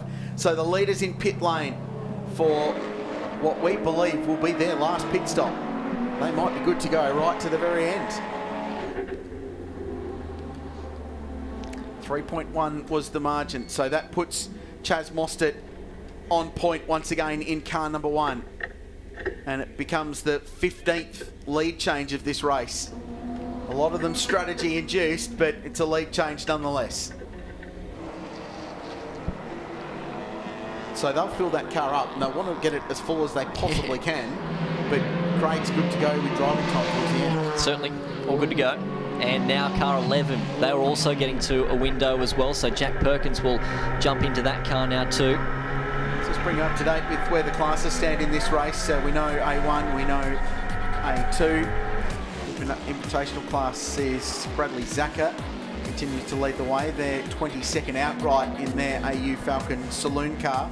Rick Shaw still on point in Class C in the Mazda RX-8 and they're 12th outright. And Class D, Chris Reeves in car three, as we mentioned, with still with one stop to go, which they can take their own time for, be leading Class D. Sorry, I just got distracted because there was a Sherrin BMW coming into pit lane again. So there was, whether or not that was a scheduled pit stop or an unscheduled pit stop, we'll be finding out very shortly, no doubt. Well, I don't know if that makes it more or less interesting if they're going to be in the mix to win it or not, because yeah. it was certainly going to be interesting, but with the raw speed of that car, it's just, it was almost a case of how quickly would they get to the front. But certainly. clearly there's more dramas, and this is not a hurried, no. what's going on kind of pit stop. Diving inside, so maybe electronics, looking at ECU units, the Hollywood story we were hoping for is no longer, and it's not going to be for the 51 Daniel Flanagan Trevor Maloof car either. That car coming to a slow halt and might have possibly have found the tyre barrier somewhere around the track. It's Merrick Maloof behind the wheel there, 39th. Merrick, I mean, not Trevor. Third in A2. So at least they'll get to pit lane. Last year in the race, everyone had dramas and got it back to the pits. This year, everyone's had dramas after the pits and this might tell us as to why. So they're another victim of the elbow at the top of Mount Panorama. Much better now to have the tyres than just yeah. the concrete wall, which they used to have. But damage just for a brief kiss with the wall. I wonder if there was more earlier than that as the Sherrins go into the garage. So after a brave fight back, it looks like the day might be over for the Sherrin Rentals BMW, at least from any shot at contending for a victory because as the clock winds down, their shot of getting back towards the lead of this race continues to run out. Meanwhile, the battle for the lead. So this is a role reversal. Yeah. So Craig Baird now needs to stay on the lead lap because he's good to go to the end. The Ford Focus has got a stop to come, a stop of their own timing to get to the end of the motor race. And just in front of them was Beric Lynton, who's in exactly the same position but Baird would very much like to stay in front of Morcom here because it'll just make their race a little bit easier towards the end to give them that track position they need and hold the charge of car number one, who to me is increasingly looking like the favourites for this race. I don't know if you agree with me, Brian, but the way this race has come to those guys, especially in the second half, and the pace that that car's got, the Chaz behind the wheel and trying to pass in ridiculous places that normally only Shane Van Gisbergen in a McLaren tries to go by. It's got speed to burn. They're looking good, aren't they? I mean, where, what's it going to be, though, is that that it's going to be the transit time of 2 minutes and 30 seconds, basically. So that's going to be the margin that we'll have to look for once Chaz Mostert uh, ultimately makes his final pit stop. He's good to go to the end. So, interesting portion of the race. Chaz Mostert, they last bit of that car 3 hours and 51. We're now at 4 hours and 44. Chaz will be in that car. So they're going to run into the last hour of the race, aren't they?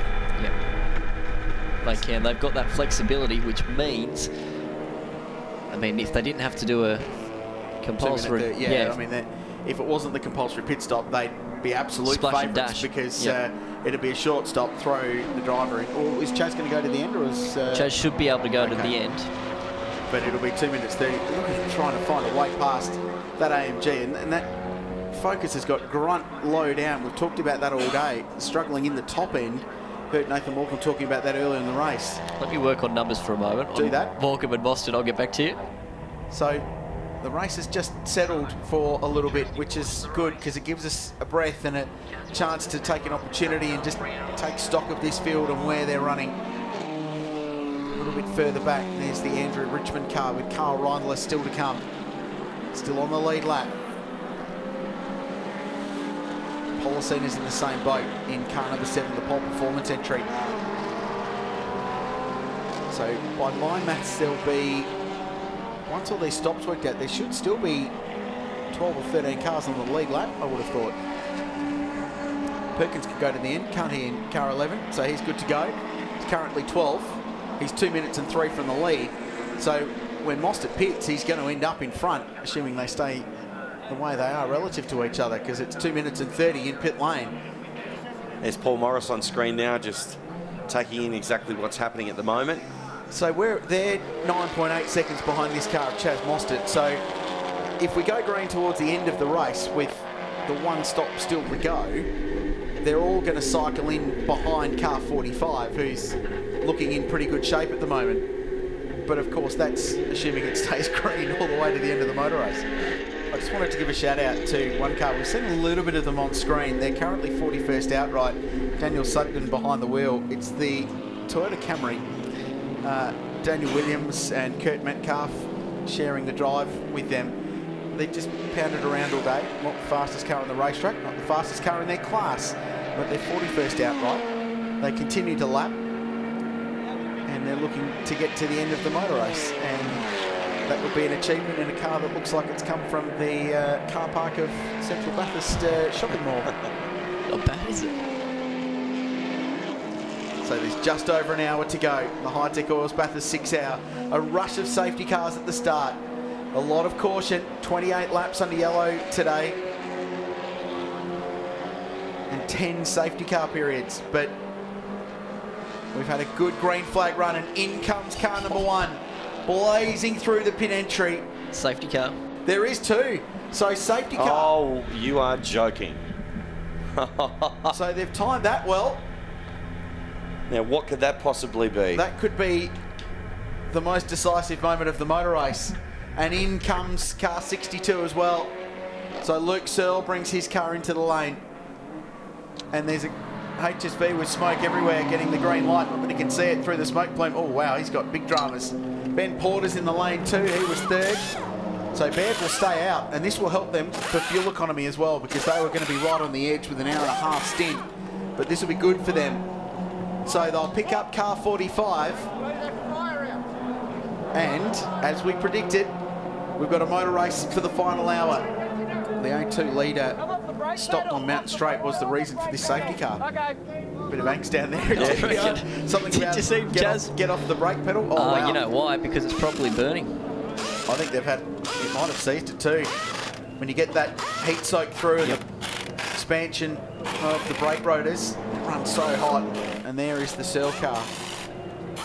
They look a little bit more relaxed than what's happening back down the lane. So it was car four that stopped. Jamie Hodgson has stopped on Mountain Straight. And Mostert out of pit lane now. And two minutes 36 in the lane. Where do they pull out in relation to Craig Baird? This is also on top of the circuit too. So Baird's yet to cross the control line and pick up the safety car. So Mostert, oh, they got out in front. Rosie. I'm with Bob Riley, team manager for car number one. There's a lot of smoke there. Uh, was that a scheduled pit stop? Yes, it was a scheduled pit stop, just fuel and tyres to the end, but one of the little brake ducts just ignited due to the heat, so the boys just hit it with a fire extinguisher and right to go. Where there's smoke, there's normally fire, and there was a lot of smoke there. Yeah, there was a lot of smoke, but the plastic does create a lot of smoke, so um, it's, it's fine. Everything's good. So does the car and Chaz have what it takes to, to win this race? Uh, certainly, both do, yes, certainly. And what are the instructions now for him uh, to bring it home? Well, that'll depend on what happens with the other competitors, but we'll just drive it as hard as we can to make sure we win. Good luck. Thank you. Well, the cagey Bob Riley, he's not saying much there, but I think he feels reasonably confident about where this car is at. We'll find out. We're going to take a break, come back with more action for the Hi-Tec Oils Bathurst 6 Hour right after this.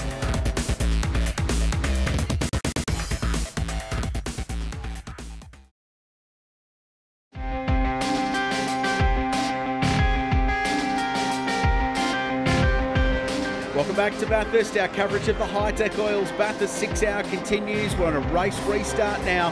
The race is being led by Mark Eddy. The Audi TTRS is sharing with Tony Alford. They've still got a pit stop to come, but they are the race leaders at the moment. Fast cars working their way through the field. Dramas for an Evo. The pole performance cars just locked the rear brakes going into turn one. That's a big moment in front of a still very large pack. It looks like car six will be able to go again. But there's the leaders. A stop to come, but what a drive from the TT so far. Hopefully they can get that car turned around once this enormous field is past and we go green right to the end and let this race play out. There's eight tenths between Chaz Mostert and Luke Searle and we'll pick them up as they come through this field on the run up to Griffin's Bend. There they are, the leaders in shot now. Red bonnet on the Ford Focus on the right of screen, working his way past the CXC car. There's the car in second place. This is the fight for what will be the race victory. And just in behind was the A45 AMG. So the top four cars in the motor race covered by about three seconds. Remarkable, isn't it? As there down the inside goes Devson Oh. Padiachi. Look at Mostert around the outside. And Searle, that's an important move. Look at that. He's just put two cars now mm. between himself and Luke Searle. So, yep, it might have been a daring move, but it's going to be these little finite seconds towards the back end of this race that's going to prove very, very crucial. The irony is these four cars at the pointy end have all been very evenly matched on raw speed.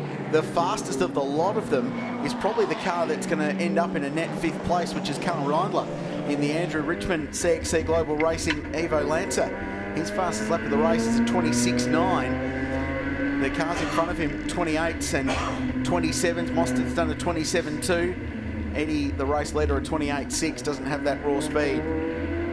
Mark Eddy's pushing on this lap at the moment. Personal best of the first sector and the second sector as well. So look for that 227.6 to be lowered this time by as he'll be pounding down Conrod straight at the moment and not too far away from coming down into Hancock Tyres Murray's corner. Sure Mark Eddy's teammate from last year, Francois Joy, will be watching on. They won their class in a Renault. Uh, they've raced a lot together, those two, in the production car ranks over the years. And in pit lane comes the race leader. So Mark Eddy, after one of his better drives that I've witnessed in his career, he's succeeded in motor racing, has Mark. He pulls the network clothing Audi into the lane from the lead, which is now inherited by Chaz Mostert and it'll be Tony Alford who jumps in the TTRS for the run to the flag. What a superb performance by these guys today. One of the drives today, you've got to say, for Mark Eddy, a tremendous stint. Speaking of drives of the day, this wouldn't be too far either for Karl Reindler.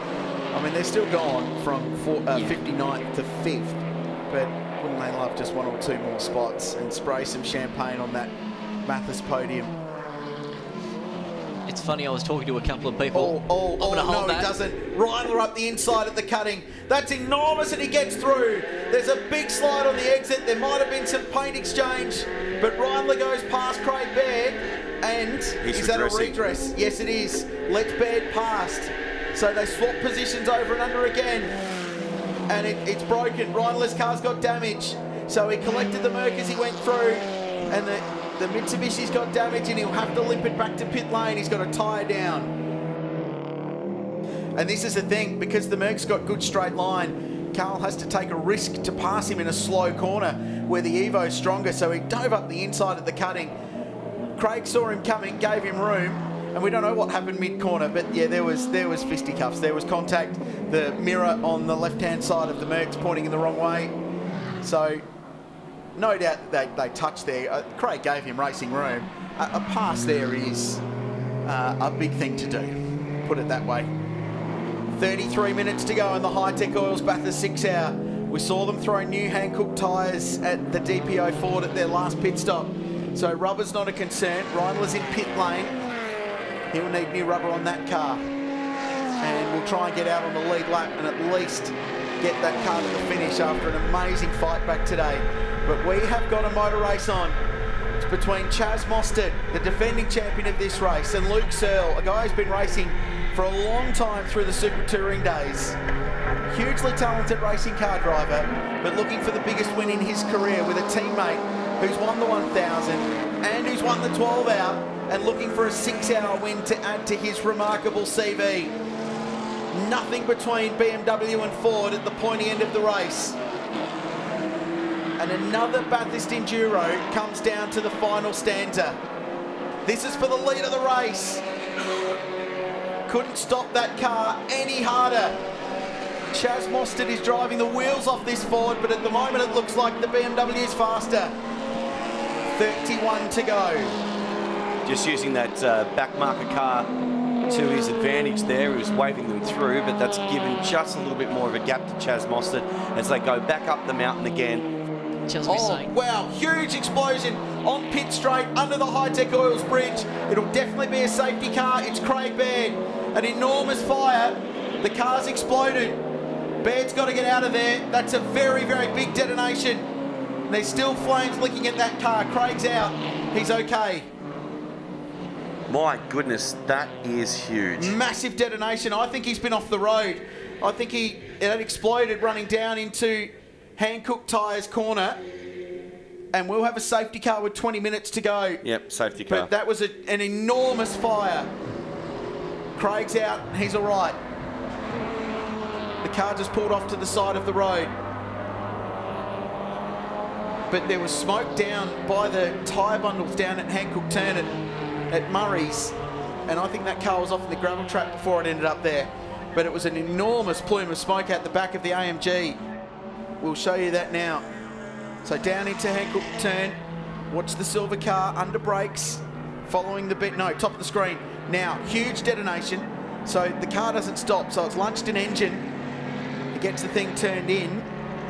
No, it didn't run off in the gravel trap. It was just the smoke plume managed to end up there. I mean, that's like a smoke screen from one of the old Batman movies, isn't it? That's extraordinary. And then watch the flame.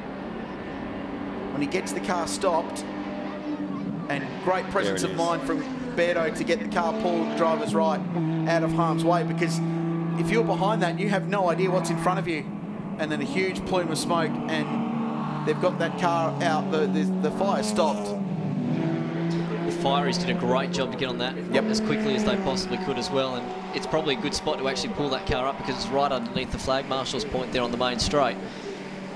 But dear oh dear, that's probably up there with one of the biggest fires, unfortunately, we've seen up here at Mount Panorama. Rosie? Garth Walden, uh, that was a horrible incident there. Uh, is he okay? Yeah, mate. Uh, the main thing is Craig's out and he's okay. Uh, I saw him jump out of the car, so just disappointing, mate, for everyone involved, the whole team, and um, Craig was doing a great job. Um, I feel sorry for Ron watching him back at home, but is what it is. Do you know what happened? No, it looks like an engine failure by the look of it. There's a lot of smoke and a bit of fire at the end, so I'm not quite sure. The car has been running great all, great all afternoon. We had a little, uh, few little issues this morning, uh, sorry, in the start of the race, and um, the car was quite good this afternoon. And uh, yeah, we're just hoping to bring it home. Well, that's motorsport. I'm sure he'll be back to fight another race, uh, so let, let's hope he's okay when he comes in. Yeah, cheers, mate. What a motor race. What a day. Under the Hitachi Bridge. Ford Focus RS versus BMW M135. Don't worry about the lap cars. It's just these two now. They've got Bathurst to themselves to fight it out for the Hi-Tec Oils Bathurst 6 hour. It's a brilliant restart from Luke Searle. Mostert has to defend straight away. Move to the middle of the road. They'll turn into turn one trying to feel the tyre pressure in the Hankooks. Still using all of the road at Hell Corner.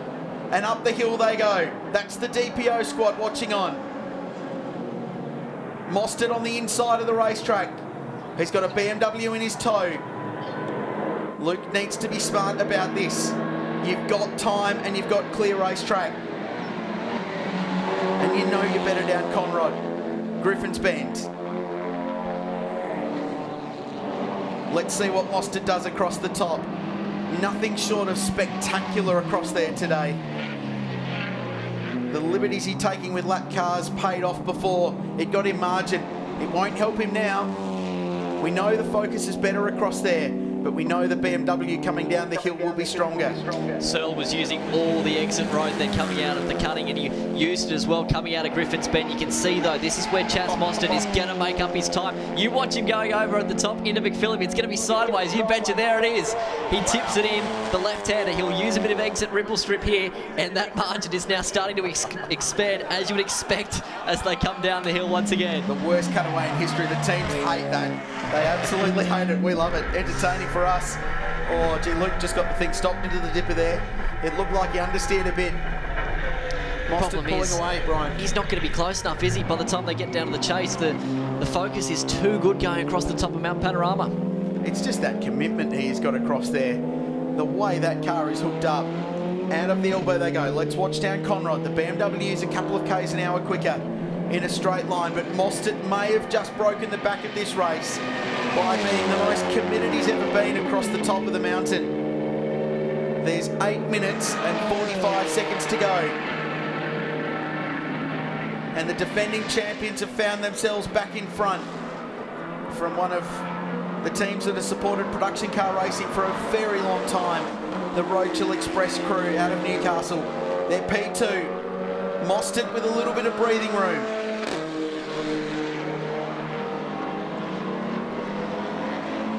The official margin as they cross the line is 1.2 seconds. And it's a 225.9 for Chaz Mostert. It's his fastest lap of the motor race on the restart. That is an extraordinary lap time to a 226.9 for Luke Searle. So Mostert punches out his car's fastest lap, the lap after a restart on cold Hankook tyres. That is amazing. Shot of Nathan Walker was like, get out of here, Chaz. That's nuts. that is absolutely incredible. But that's what he needs to do at the moment to hold this race. And you can see already that margin from what it was a lap ago has certainly extended. And Mostert now is starting to put his ascendancy on this race with only, well, seven and a half minutes to go. I tell you what, Ryan Simpson's catching Devashan Padiachi as well. So the number seven Mitsubishi's hauling in the number 29 Merc for the final spot on the podium. So that might yet be up for grabs yet. Not that this leading battle's done with either. And they will get traffic. You can almost bank on it. The leaders just crossed the start finish line now, and these guys are up at the John Hinksman Vista. So it'll be a lap or two, but they're going to get there before the end of the race. Just to throw another curveball into it, it's going to be intense. And it's going to be ebbing and flowing like you could not believe. If anything, Chaz needs to build that margin now because by the time they do hit lap traffic, then that might just evaporate. And that's where, again, he'll need to be forceful. I can't believe that lap from Chaz. You don't often see in endurance races the fastest lap set right at the very end, especially in production car endurance racing. But that's what he's done. What a testament to this crew. The DPO squad, we heard from Bob Riley early on. Nigel Bolling, who's built more than his fair share of production cars over the years. And Barry Morcom and the team have put together a really strong program. This is the longest this car's ever run. It did a shakedown at Wakefield Park before this weekend, and that's about it. It is a brand new race car, and it had dramas yesterday. They qualified 16th, and uh, with turbo boost issues, they had no boost in quali. It did a 30.0, and they were 16th and a long way down the order. Bear in mind, they won this race from 11th last year, so at the moment we're on for for this race being won from outside the top 10 on two occasions. No one's won the 12 hour from outside the top 10. It's a cool stat itself, isn't it? Headlights ablaze as we're getting later in the day at Mount Panorama on this Easter Sunday. Well, this should be the fight for third place. The BMW goes through on Ryan Simpson, but Ryan was closing in on Devashan Padiachi here. Chaz Mostert, 225.82, fastest lap of the motor race for him, but going with him is Luke Searle. Does a 25.85. Luke Searle has just gone faster than he qualified, and he qualified second. This is some kind of drive from Luke. He is driving his heart out and he's kept the gap at 1.3 seconds. This is still very much anyone's motor race. And they're at lap record pace, literally lap record pace at the front of the field. Mostert sets the fastest lap of the day on lap 110. And Searle goes with him, punch for punch. And the little BMW has not given up yet. And there's a feel-good story to either one of these cars to win this motor race. But what a display of motor racing at Mount Panorama. Just got a feeling here that Luke Searle's just pulled a little bit back on Chaz Mostert over the top there. I feel I'm in agreement with you, absolutely. To the first sector, Chaz Mostert, one minute, point two exact, and then just behind him, you had Searle, 59.7. To the first sector alone, Searle was half a second quicker. This is a great motor race. The water car race. Chaz has got that thing as hooked up as I've ever seen a race car at this place. Lap record on lap 110. The fastest laps for both these cars on lap 110. They're punching out qualifying numbers. It's incredible at the end of a six-hour production car race. Tell you what, if Searle can do this for another lap or two, this sort of pace, he's going to be close enough to have a lunge at Chaz Mostert. Look at it now. This might just be the moment. Mostert, the car seems to be slowing down the inside. Here comes Searle, a change for the lead with four minutes left in the great race of the Hi-Tec Oils Bathurst six hour. Luke Searle is your new race leader. Mostert's not done with yet. Good run out of the chase. Searle will have to defend into Hancock corner. Chaz will send it left and then right. Right on the edge of braking, the brake discs glowing. A change of the lead with four minutes to go. The BMW is in front, and we're running out of laps. What next?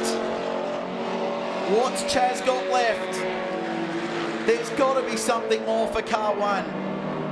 Surely that's not it. From everything we've seen from them today, from passing lap cars on the grass at the metal grate, he will have another go. If he can get a good run across the top, he will have another go. Forrest Elbow might just have to be the moment for him as they turn it back into Griffin's Bend once again.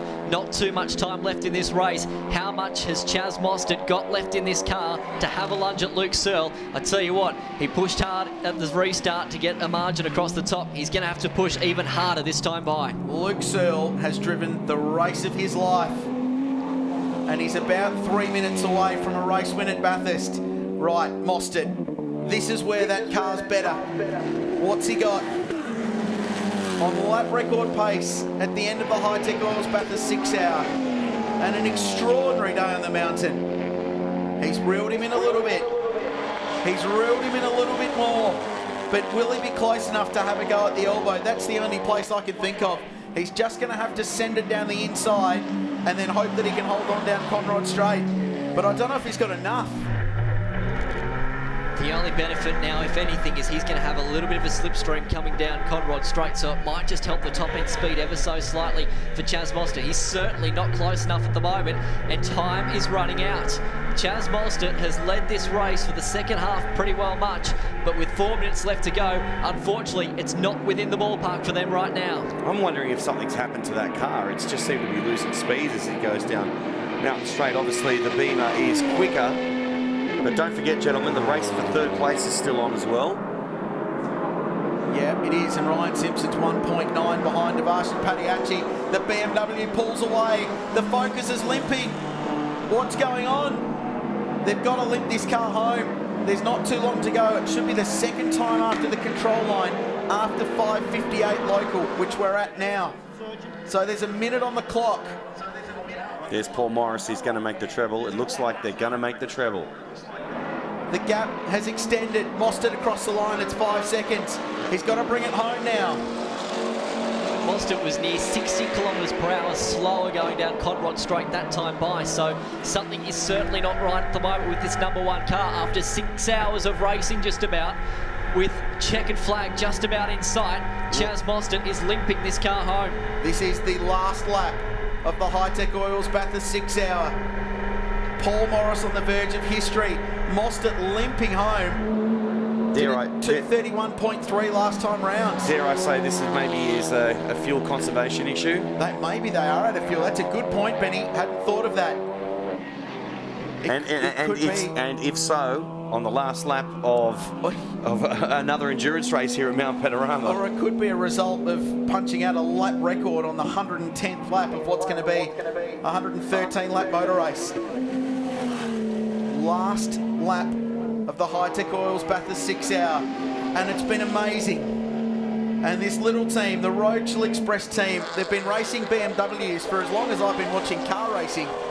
Back in the Super Touring days, Luke Searle would never qualify on a Saturday and would rock up on Sunday and start from the back of the field as a young guy and race his way to the front of the Independence Cup in that category. They've moved to production cars and they've raced sporadically, but nothing like this has come their way. And Paul Morris won the Super Cheap Auto Bathurst 1000 when we thought it would never be a thing with Chaz Mostert in 14. He's won the 12 hour and he's about to add a Hi-Tec Oils Bathurst 6 hour and be the first ever to sweep the major endurance races at Mount Panorama. The BMW heads down Conrod. There's the focus. And it's been an amazing day. And this is sec uh, third place. That's for the final spot on the podium. Ryan Simpson throwing everything he can at the AMG. But the leader will be soon to the checkered flag for Luke Searle and Paul Morris and the Rochelle Express team. An unlikely result, but what a welcome winner. Luke Searle and Paul Morris win the Hi-Tec Oils back Bathurst six hour with a pass for the lead in the final five minutes. And that man has won the Bathurst Triple. And that is a great motor race. What an effort, what an effort. Paul Morris, there he is on screen. Just loving every minute of this one. I tell you what, there's probably a fair bit of emotion attached to that one as well because for him, this is a remarkable victory. Its place has bitten him for year after year, and now all of a sudden he's got a couple of Bathurst wins to his name. An incredible drive. The Antunes Salmon Mercedes-Benz makes it home. There's the James Abella Cameron Hill Subaru that makes it to the finish just inside the top 10. A Little Alfa got home as well, which is great to see. They preserved along all day. There's Brian Walden.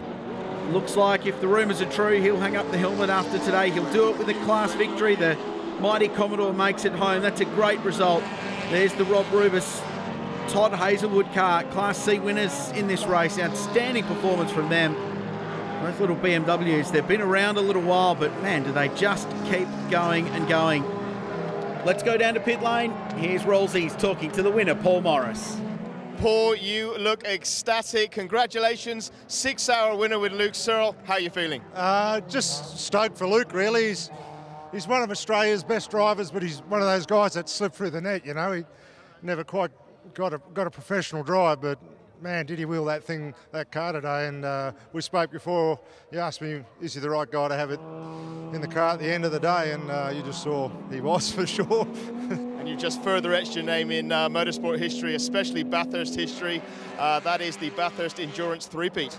Yeah, it's awesome. I can't believe it's good. So, and uh, just, you know, great place to come and race and great bunch of guys. Look, all volunteers here.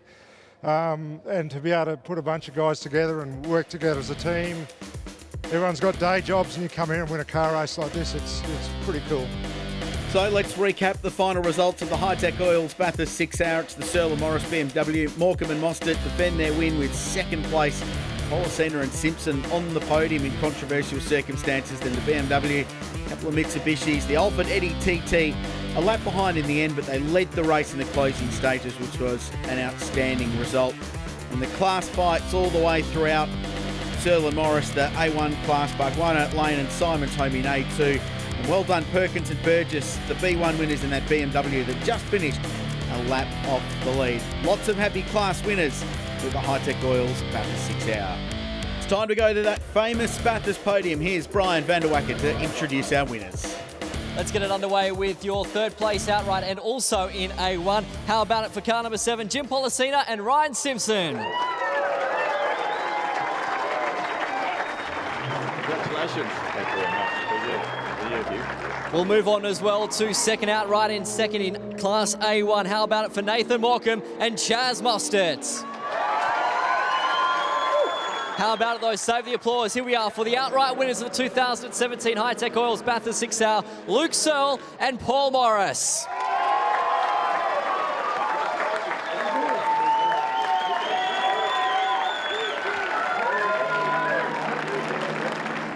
Luke, I'm going to grab you first, mate. What an unbelievable final stint there towards the end. I mean, that was incredible. Talk us through what was going through your mind. I just had to get him. Um, there was nothing going through my mind. Um, he was in front of me and I wanted to pass him, but wow, he drove the wheels off it. And uh, if he didn't have that small problem at the end, he would have won. So I can't, I can't thank Paul enough. I can't thank my father enough for buying me a car and paying for me to race. My father-in-law, Barry Graham, for setting up a brilliant car. My wife for letting me race. Thanks everybody for turning up. Awesome. And all my crew guys, thanks. Awesome. Well, there's Luke Searle. He's a happy man, and so he should be. He's won an incredible motor race. That's all the time we've got, and that wraps up the Hi-Tec Oils Bathurst 6 Hour for 2017. But don't worry, this race will be back on the Easter long weekend in 2018. We'll see you then.